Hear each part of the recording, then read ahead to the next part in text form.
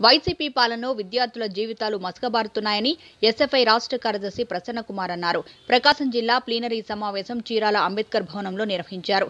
ముఖ్యమంత్రి వైఎస్ జగన్మోహన్ రెడ్డి అధికారంలోకి వచ్చిన రెండున్నర సంవత్సరాల్లో జీవో నెంబర్ డెబ్బై మూడును తెచ్చి విద్యార్థుల జీవితాలను మసకబార్చారన్నారు.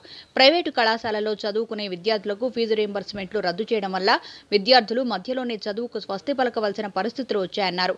విద్యార్థి వసతి దీవెన వంటి పథకాలు పెట్టి విద్యా విధానాన్ని మంటకలిపారని ఆరోపించారు.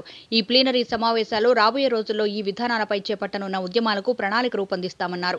ఈ కార్యక్రమంలో ఎస్ఎఫ్ఐ మాజీ రాష్ట్ర కార్యదర్శి వి. కృష్ణయ్య జిల్లా కార్యదర్శి సిహెచ్ వినోద్ మాజీ జిల్లా కార్యదర్శి కంకణాల ఆంజనేయులు యూటీఎఫ్ జిల్లా కార్యదర్శి షేక్ జానీ భాషా జేవీపీ రాష్ట్ర కార్యదర్శి కుర్రా రామారావు మహిళా degree college retired principal D. Narapareddy జిల్లా మాజీ కార్యదర్శి సిహెచ్ సుధాకర్ జేవీవీ నాయకులు బిరుదు పిచ్చయ్య పాల్గొన్నారు.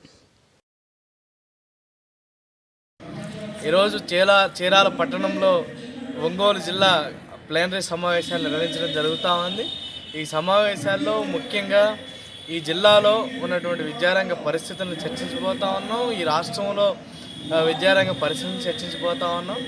చర్చించి భవిష్యత్తులో విద్యార్థుల సమస్యల మీద ఈ జిల్లాలో రాష్ట్రంలో పెద్ద ఎత్తున పోరాటానికి రూపొందిస్తూ ఉన్నాం. జగన్మోహన్ రెడ్డి గారు అధికారంలోకి వచ్చి రెండున్నర సంవత్సరాలు వస్తూ ఉంది.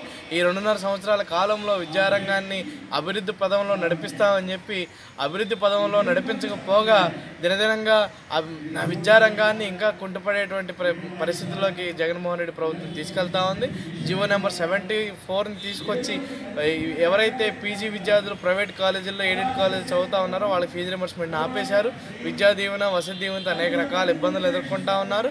ఇప్పుడు గత వారం రోజుల క్రితం ఉన్నత విద్యా మండలిలో ఉన్నటువంటి ఉన్నత అధికారులతో సమావేశం ఏర్పాటు చేసి ఈ ఈ రాష్ట్రంలో ఉన్నటువంటి ఎయిడెడ్ కాలేజీలను అవసరమైతే ప్రభుత్వానికన్నా ఇవ్వండి. లేదంటే ప్రైవేట్ అయినా చేసుకోండి అని చెప్పారు. ఈ ఈ నిర్ణయం మొత్తం ప్ర ఎయిడెడ్ విద్యా సంస్థ విద్యా వ్యవస్థని నిర్వీర్యం చేస్తూ ఉంది. ఇప్పటికీ రాష్ట్రంలో దాదాపు నలభై రెండు మాత్రమే ప్రభుత్వ డిగ్రీ కాలేజీలు ఉన్నాయి. మిగిలిన కాలేజీలన్నీ కూడా ఎయిడెడ్ విద్యా వ్యవస్థలతో నడుస్తూ ఉన్నాయి. మొత్తం మన డిగ్రీ విద్యా వ్యవస్థ మొత్తం ఎయిడెడ్ విద్యా వ్యవస్థ నడుస్తూ ఉంది. ఇటువంటి ఎయిడెడ్ విద్యా వ్యవస్థను నిర్వీర్యం చేయడానికి ప్రభుత్వం పూనుకుంటా ఉంది.